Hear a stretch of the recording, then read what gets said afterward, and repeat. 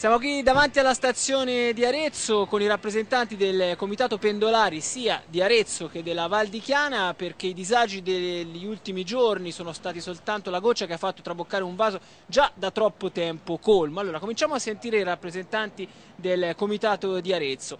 Ormai fare il pendolare con i treni sta diventando veramente un incubo. Il ghiaccio che ha bloccato lo snodo di Olmo è stata l'ultima goccia. Sì, praticamente è stata l'ultima goccia che ha fatto traboccare il vaso perché martedì siamo arrivati alla stazione, io di solito prendo l'Intercity delle 7.32 la mattina, praticamente la stazione era piena di pendolari perché dalle 6 non transitava alcun treno. Alle 7.45 hanno fatto poi partire un regionale che nasce ad Arezzo, quindi era l'unico che poteva partire, imbarcando un sacco di gente e poi facendolo fermare anche nel Valdarno, quindi a Montevarchi, San Giovanni, Figline, per cui siamo arrivati a Firenze pieni, il treno era strapieno, veramente la gente rischiava poi di sentirsi male.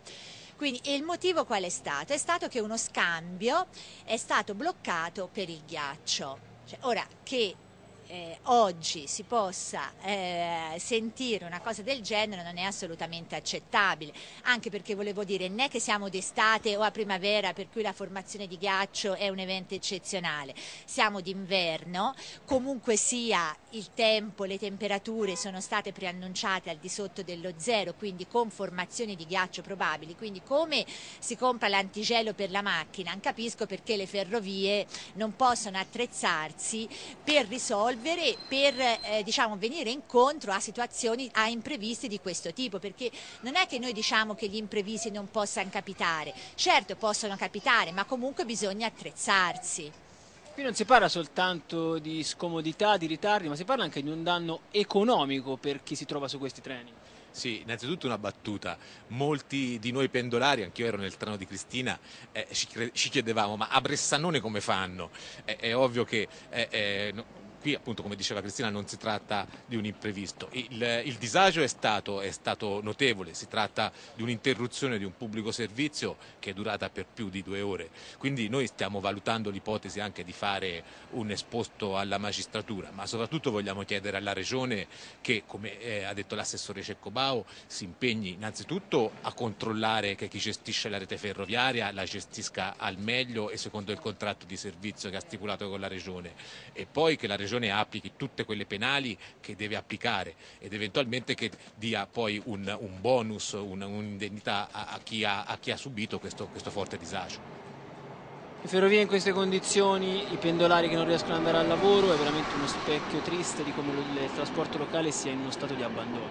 Assolutamente, bisognerebbe che qualcuno dei nostri politici più evidenti, più visibili, provasse a montarci sul treno si renderebbe conto delle condizioni igieniche che spesso abbiamo, dei ritardi che a volte si dice sono fisiologici, a volte no, e della considerazione che noi pendolari abbiamo presso eh, diciamo, il mezzo di trasporto. Molto spesso sarebbe solo sufficiente dare delle informazioni giuste, corrette e tempestive per consentirci di prendere magari un treno diverso da quello che avevamo programmato. Tutto ciò non avviene. Tutto ciò, come giustamente diceva lei, testimonia un'incuria e una scarsa considerazione dei problemi di un numero elevatissimo di cittadini, perlomeno di Arezzo. Il comitato pendolari della Val di Chiana ha problemi di tutti gli altri comitati, si è riunito, è nato per protestare per questa situazione. Raggiungere da tutte le zone della Val di Chiana, dalla zona retina, ma anche dalla zona senese Firenze sta diventando davvero un incubo.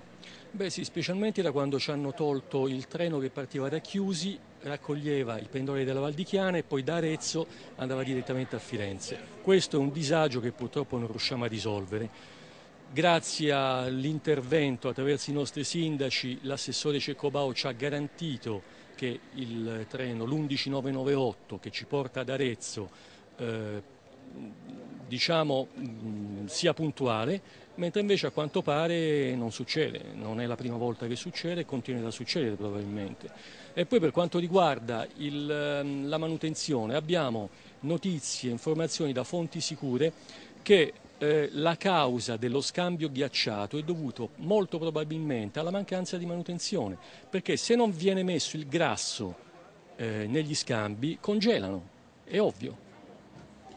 Voi rappresentate un numero importante di cittadini, ricordiamo che anche dalle vallate sono tanti gli aretini, i senesi che si muovono verso Firenze, verso i capoluoghi per andare a lavorare. Siete veramente una spina dorsale dell'economia che rischia di essere pesantemente penalizzata.